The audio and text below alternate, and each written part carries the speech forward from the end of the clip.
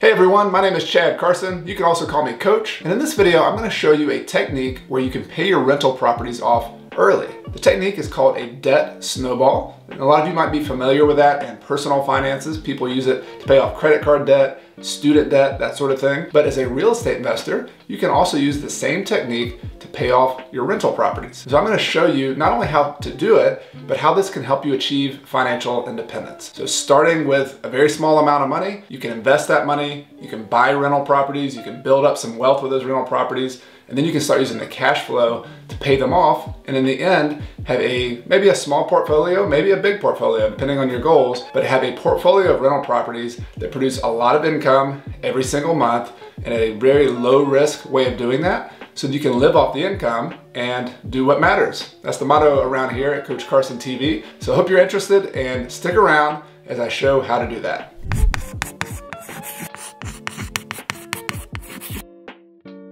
You're new here to the channel, be sure to hit that subscribe button and the little bell so you don't miss anything. This is how I like to explain things. I get the whiteboard and draw it out for you. And I want to start off explaining why this might be a good idea for you to actually pay off your properties in the first place. I talk a lot about financial independence here on this channel.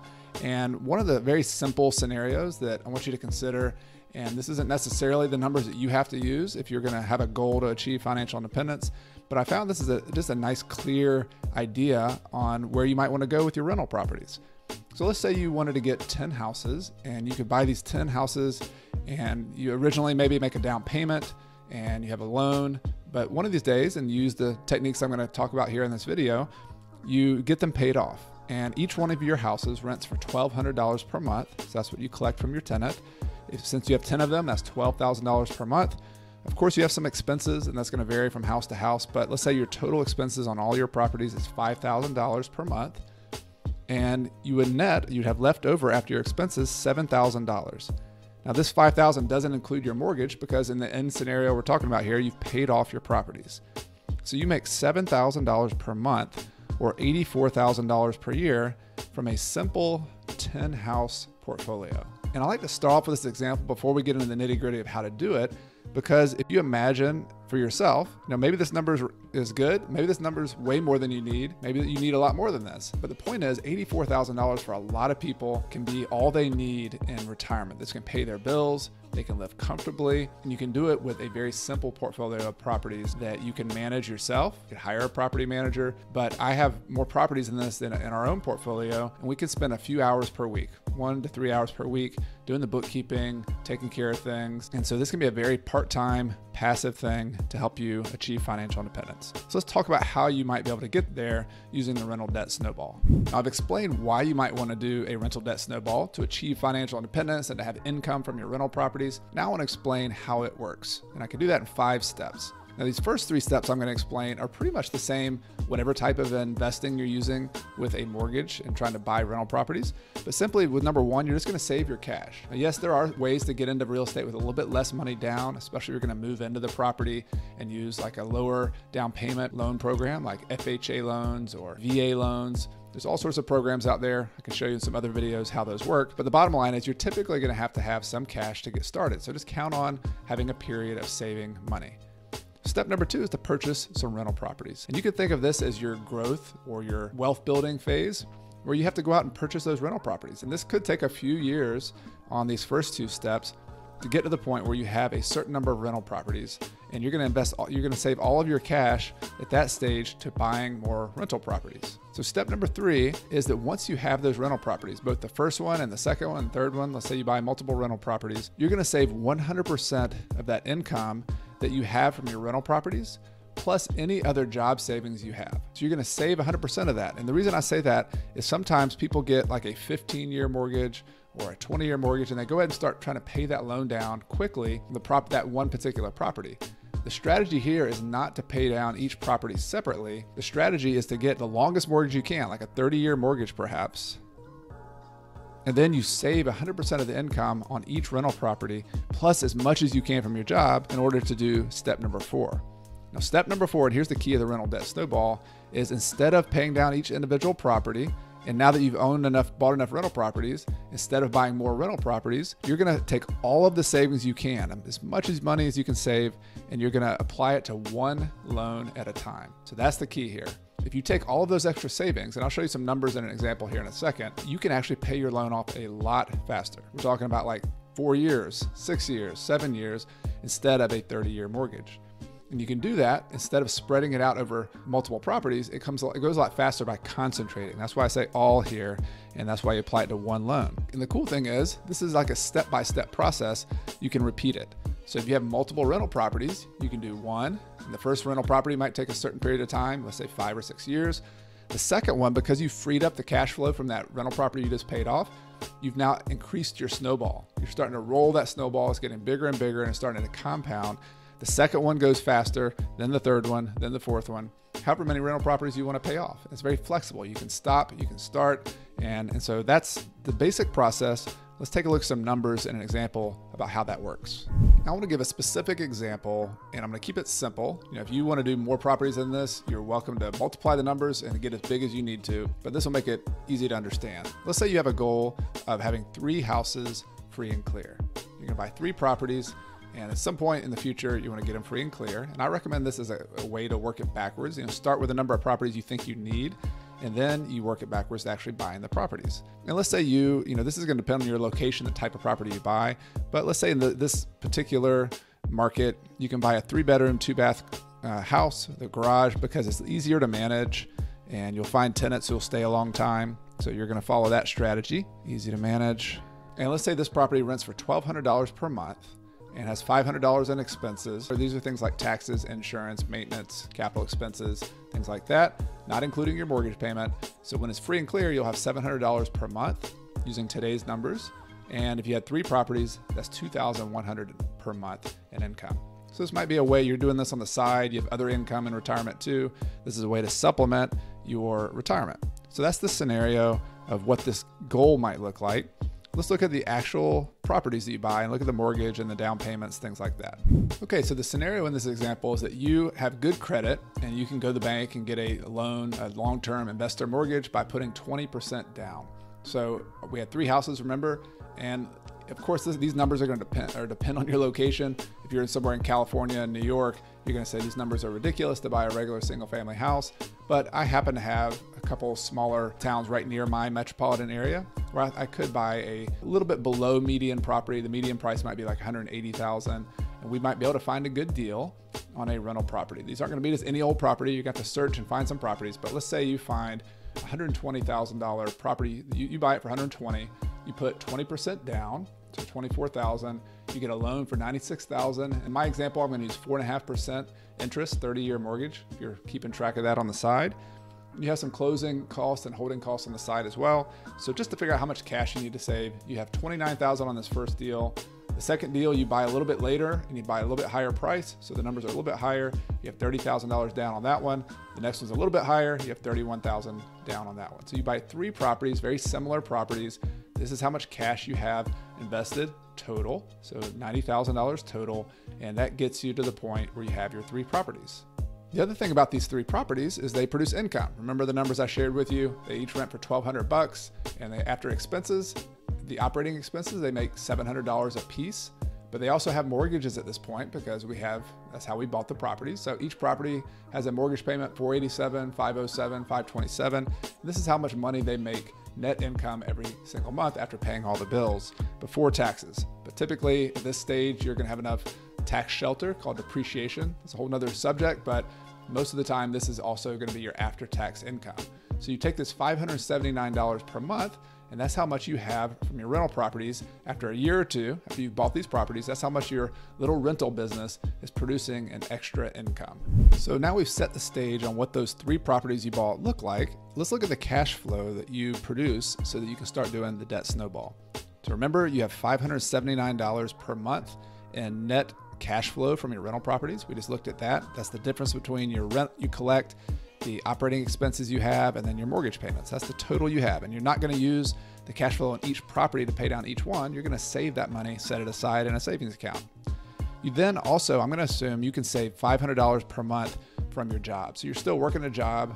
If you have a, pal, a spouse or a partner, they're working as well. And hopefully you can save 500 bucks. If you can do more than that, this is going to accelerate it even better. But for my example, I'm going to use $500 per month. And then, of course, you have one mortgage payment we're going to start paying off. And in this example, the first for house number one was $487 per month. So we're going to combine all of those into one big mega mortgage payment. This is just an extra large mortgage payment. Instead of you sending 487 per month, you could send 1,566 per month. Now, for all practical purposes, sometimes you might want to actually send a separate check or something just for accounting purposes. Sometimes, or, or, or you just want to make sure you track it really closely banks don't always credit this correctly so you can you know keep your accounting records keep copies of what you've done sometimes i even do it a little bit variation this is a total aside but we actually save up the money save one big chunk and maybe send it every 12 months, especially when we're saving up a lot of money. It's going to be not quite as good of a snowball, not quite as fast, but sometimes accounting is just easier for us. So, however you want to do it, whether you do it monthly, send send this check monthly, or save the extra money and send it once per year, it's up to you. But that's just a, a note about how that works. You're going to make one big extra payment every single month in this example, and that's what it is $1,566. Now, what I want to show you now is how fast and what this looks like and how this snowball starts working together over time. So this graphic is something I want to show you how this big picture works for your rental debt snowball. You can also see this graphic and a written explanation in the companion article that's in the description of this video. But the way this works, remember in the very beginning, you had original savings of $90,000 and you bought three properties. So we've gone over what those numbers look like. Just a summary here again, you have a debt of and here your debt payments 487, 507, and 527. And your monthly cash flow on a yearly basis right now is $6,948. That's how much you're saving up when you have your rental income coming in. But the key strategy here, this was what makes the rental debt snowball work, is you reinvest 100% of the rental income. Plus, in my example, you're saving an extra $6,000 per year, $500 per month, and you're applying all of that to one rental property at a time. So this one house that we had 487 per month, by doing that, about five years and 10 months later, I did the math for you, running the numbers on how long that would take with that extra big mortgage payment. Remember, 1,566 when you combine the minimum mortgage payment plus the extra cash flow from your savings and from the rental income, it pays that first rental property off in five years and 10 months. Pretty cool, huh? And so the cool thing is you, you start moving up step by step. You have the progress of that, and you now have a property free and clear that has no mortgage payment. So now your rental cash flow has increased from that original that we had was 6,948 to now you're making 12,792. So a little bit over a thousand bucks per month. Plus you're still saving the extra money, the $500 per month, and you start attacking debt number two, a $507 per month payment. And that takes a, a total from the from the time you started, the cumulative time is nine years and 10 months. So you're almost at 10 years, and now you have two properties free and clear. So you have one more to go, and but now you're making $18,876 per year. So you're making some good cash flow now, and you apply that to your third debt in, in 12 years and nine months from when you started. So this is when when you started buying your properties to the time you have all three properties free and clear. You're now making $25,200 per year in cash flow. Pretty cool, huh? Because you have no mortgage payments, because you applied those extra payments really quickly, you end up with a spot where you have very little risk because you don't have any mortgages, you have higher cash flow. And the thing I didn't take into account here is 12 years later, is it possible that you've had some appreciation on your rent, that your rents are worth more, that if things cost more in society generally, you've had some inflation? Likely, if you bought good rental properties like this, this number is going to be higher. So it, it buys you in today's dollars likely $25,000 worth of income. So that is the process of a rental debt snowball. I like seeing a picture of it. It helps me understand it. It also helps me understand the benefits, which I want to talk to you next about some of the benefits of a rental debt snowball and why you might want to use it in your own business. So you probably already know this, but in everything in real estate investing or really any business or investing strategy, there's good and there's bad. There's pluses and there are minuses. So I want to go over the benefits and I'll also share a few of potential downsides of using the rental debt snowball. The first thing I really love about it is the control it gives you over your wealth building. So when, when you're trying to achieve financial independence, and particularly if you're trying to do it early in a 10, 15 year period, you know, there's, there's multiple ways to get there. You can invest in the stock market and kind of wait for stocks to go up in value and your net worth to increase. You can own rental properties and wait for them to go up in value and own in the path of progress where things get a lot better. And you can use appreciation to build, build your wealth. But I really like using the income from the property, which you, you've already heard about here, saving that income and then paying the loans down that's something you have control over. And rents do have a little bit of fluctuation. They, in down markets, they might soften up a little bit and you got to lower your rents, but they're not nearly as volatile up and down as prices are. And so it's like a little engine. Every year, you're saving your money, you're reinvesting it, and you're paying your loan down. And that's something you can control. You can look out 10 years from now or five years from now and say, this is when I'm going to pay my property off. This is, a, and then you have a very a lot of control over that, as opposed to letting the market and, and other people control the process. So that's a big important thing. Number one. Number two is I like the measurable, visible progress you make towards your goals. So if you have a goal and you believe you can hit it, and you can actually have milestones along the way. So every month you're seeing your loan go down, and then three or four years later, it's paid off you're, you're hitting these milestones you can celebrate, you can enjoy it, and you can't underestimate the psychological value of that kind of progress. That's really big. It works in sports. When I play sports, having those milestones is really big and it works very well in real estate investing too. The third thing I like is the flexibility. You know, everything in life changes. Your plans are going to change. We know that. So when you have a 10 to 15 year wealth building plan, you're going to have to be flexible. And this allows you a lot of flexibility. What if you get one property paid off and then you lose your job? You need to take a break for a while you could put it on pause. You could put the debt snowball on pause, not pay down any more loans for a while until you get your job back, until things, you know, work out, and then you can get back on the plan later on. So you can start, you can stop, you can go faster if you want. If you get a big inheritance or you win the lottery, you can pay this off a lot faster. So it has a lot of flexibility, you is measurable, visible progress, and you have control. Let me give you a couple of the potential downsides just to kind of balance this and give you a, a whole picture of how this how this debt snowball works. So a couple of the downsides that I see with a rental debt snowball that you might get from other people or you might consider for yourself. And the first one is self, you have to have a lot of self-discipline over many years to make this work. So that's just the way it is. There's there's no sugarcoating that. That even in the short term, a five to seven year period, you have to save money consistently every single month, every single year. You got to not spend that money. You got to reinvest it and pay the loan down. And that's not an easy feat. It sounds pretty simple to do, but it's one of those things that's simple and not easy. So you got to know yourself. You got to know, am I willing to commit to something for a 10 year period, 12 year period? If it means that at the end of that 12 year period, I'll have free and clear properties and I'll be able to leave my job or I'll be able to have more flexibility with my job, have financial independence, do what matters you know that's that's the question but that's really not a question even just for rental debt snowballs that's the question for any kind of investing it takes self-discipline and and you think about a lot of the plans out there retirement plans we're talking about 20 30 years they're asking you to wait. And we're talking about being disciplined and focused and you can still enjoy your life and have a lot of fun in the meantime but you're saving a lot of money and you're paying debt down during that 10 to 12 year period. So that is definitely a challenge something you need to be aware of up front the other thing you might hear is, hey, you're paying off loans, and for example, at four and a half percent interest. So the, the best you're doing is making a four and a half percent return when you could be investing that money somewhere else that makes a 7% return or a 10% return or a 20% return. And there's no sugarcoating that either, is that yes, you are choosing to pay off debt. You are not choosing to maximize your growth. But let's go back to the whole point of why you're doing this. And this would be my, my counterpoint is that you are trying to achieve financial independence. And the mechanism of doing that is building wealth, which you do by owning rental properties. You put down payments, you hopefully they're growing over time.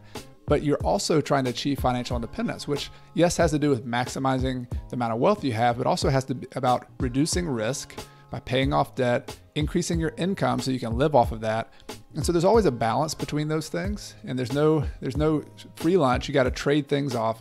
And the idea, and this has been a personal experience of mine, is that if you can get to a point where you have a very low risk portfolio, and in my book Retire Early with Real Estate, I call that having a income that's really what you're doing here. You're kind of building a, a, base, a floor underneath your portfolio so that you get this nice low risk income coming in. And that doesn't mean you can't also invest for growth somewhere else. Like maybe you do this debt snowball in part of your portfolio you also have a 401k that invests in the stock market or in real estate, or you have some other rental properties that you're trying to maximize growth on. And these are just your income floors so that you can guarantee that you have a nice amount of income coming in just to pay some basic bills. That's the idea here is you're not trying to maximize growth of this part of your portfolio. You've already grown enough. You're trying to get to a point where you can live off the income and reduce your risk. So those are some downsides. If you have any other thoughts in the comments below, let me know. I don't have the only answer here and, and one solution is not always right for everybody. So let's have a discussion in the comments to see what you think about the rental debt snowball as well. So I'd love to hear from all of you in the comment section below. Do you want to pay the debt off on your rental properties? How do you feel about carrying debt versus paying it off? When do you think it's a good idea to do that? And if you do want to pay off your debt on your rental properties, is the debt snowball a technique that you plan to use? If you like this video, I'd really appreciate hitting that like button. It helps us spread the word and share it with other people on YouTube. And if you're new here and you haven't done it yet, be sure to hit the subscribe button and the little bell so you don't miss any of the future videos I have coming out soon. If you'd like to get free tools on how to invest in real estate, they're actually the ones that I use invest in my own business, look in the description below. There's a free real estate investing toolkit link and you can just put your email in and you can get that for free. It includes things like my deal worksheet that I use to evaluate properties and have the questions to negotiate with people when I'm buying properties has a closing checklist to help you when you're buying a property so you don't forget anything. And it has a lot of other tools that'll help you on your journey to financial independence. So just click that free toolkit link in the description below. I really appreciate you spending some time with me here today on Coach Carson TV. My name is Chad Carson. You can also call me Coach, and this is a channel all about investing in real estate so you can achieve financial independence and do more of what matters. See you next time.